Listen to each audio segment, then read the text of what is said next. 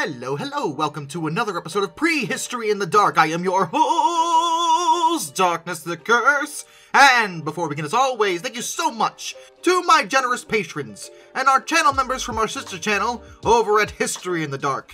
You are the reason why this content remains well preserved. And today, we get to talk about probably one of the, if not the, maybe not the, depends how you look at it, best preserved fossils ever found of anything.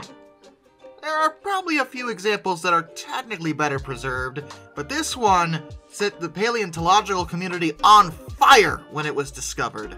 This is the story of the Suncor Nodosaur.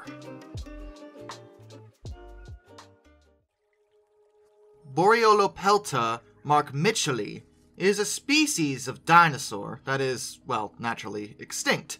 It is a nodosaurid ankylosaur.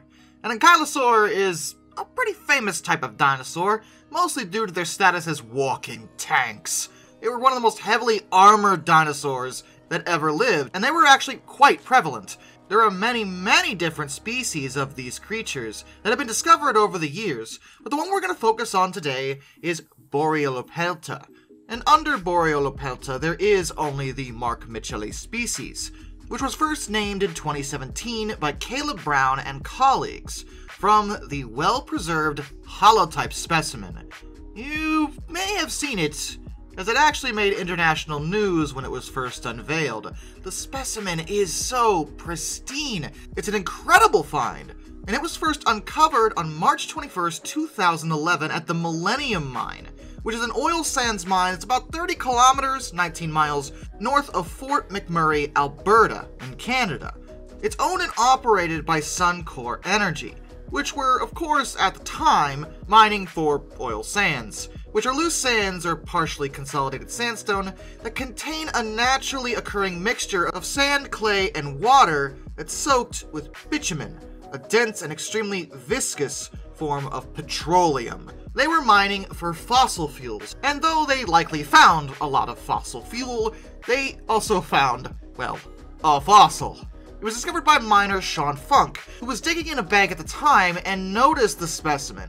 Instead of continuing to dig and possibly destroy it, he contacted a supervisor who realized immediately that this was something that needed to be reported, like now. They alerted the Royal Tyrrell Museum of Paleontology, and in accordance with their own mining permit as well as Alberta's fossil laws, the specimen actually became property of the Alberta government. They couldn't actually dig past it at all, even if they wanted to legally, though they could have just not reported it, but they did, so they did the right thing in this case.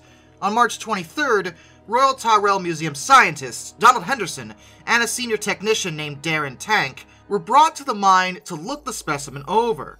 Now, this area isn't unknown to having fossils, but in the past it was actually submerged in a prehistoric sea, and based on the photographs they'd already looked at, they were expecting it to be some kind of marine reptile, possibly a plesiosaur. No land animals had ever been discovered in the area previously. But when they looked at it, they realized it was not that at all. This was a dinosaur, a very, very well preserved dinosaur. The animal must have been washed out to sea at some point, and the running theory is that she must have drowned, since the ankylosaurs were, of course, very heavy, and probably not very good at swimming. The museum staff, as well as the Suncor employees, worked together to extract the fossil safely. The employees, in particular, had three days of safety training to make sure they knew exactly how to get this thing out with minimal damage. Fossils are extremely delicate. Extracting them requires very, very specific technique, and above all, patience. They set aside the pieces that had already broken free as a result of finding it in the first place, and the bulk of the specimen was actually still embedded 8 meters, 26 feet, up a cliff. So not only did it have to be extremely careful, it was also positioned in like the most annoying place imaginable. The process actually took two weeks in total, and it did not go perfectly. A major piece of rock that contained a significant bulk of it actually broke under its own weight when it was being lifted out. The museum staff did not respond well to that, but it wasn't exactly anyone's fault, it was just one of those things, and they salvaged the specimen by wrapping and stabilizing the pieces in plaster, after which they were able to transport them back to the Royal Tyrrell Museum. That was when Mark Mitchell took over. He was a technician, and he spent six years removing the adhering rock and preparing the fossil for actual study. The entire process, due to how groundbreaking this fossil find was, was actually sponsored by the National Geographic Society.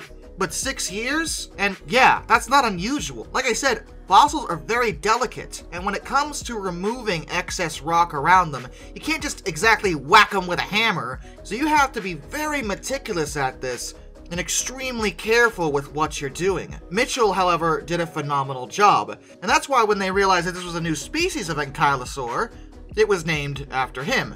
Borealopelta Mark Mitchellly. And good for him, I say. I would love a dinosaur named after me one day. The specimen was finally put on public exhibit on March 12, 2017, and it set the world on fire due to how well preserved it was. But let's talk about what we know about this particular species based on these remains.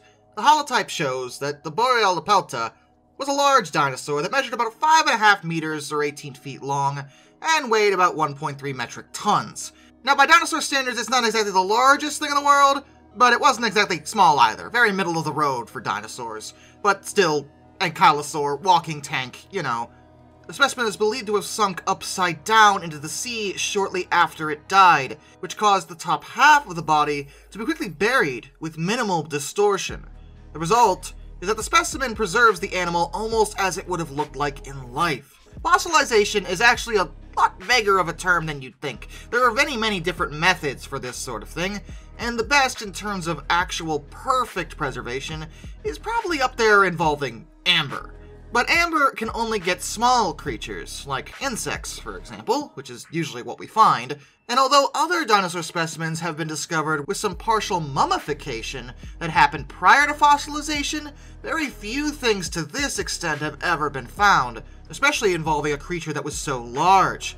The remains answered a lot of questions regarding how the plates on ankylosaurs generally fell, at least when it came to this specific species. They were even able to analyze the stomach contents to figure out the diet, and it was discovered that they were very picky. Almost the entirety of the contents were, well, ferns, and 6% of it actually contained charcoal, which led to the idea that the animal had been feeding in an area that was experiencing regrowth after a recent wildfire.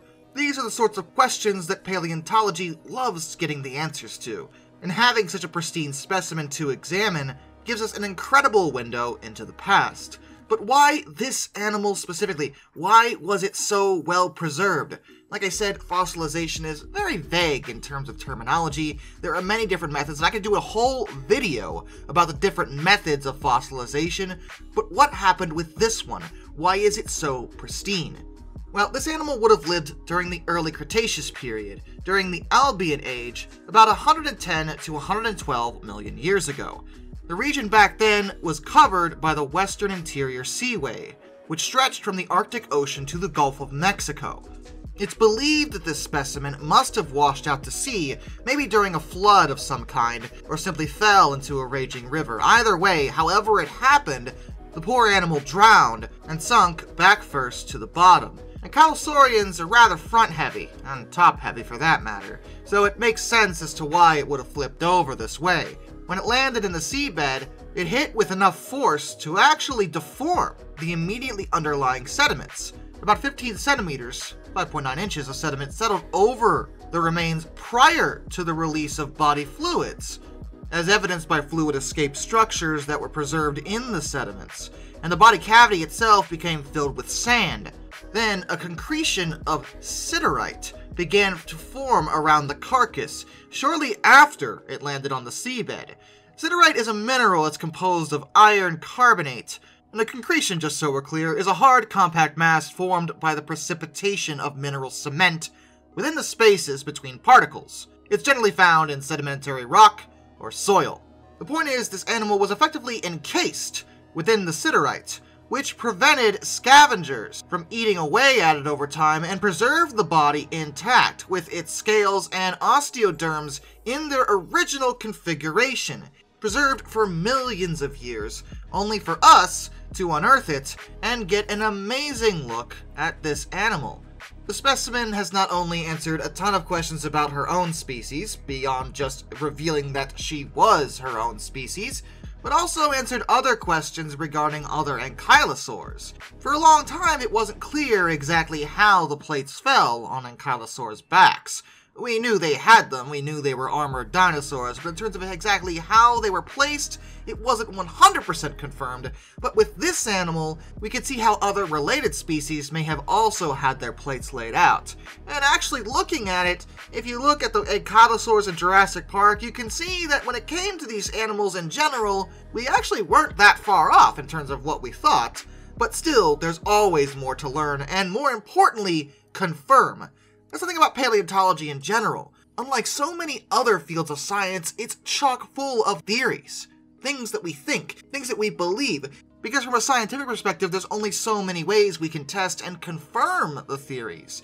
Because all we have are these remains. But when remains like this come along, that are so well preserved that they can answer a bunch of questions just on their own, then that's a win for the scientific community. And the specimen will likely remain on display for years to come, as paleontologists continue to debate and use the remains to enhance our knowledge of the past.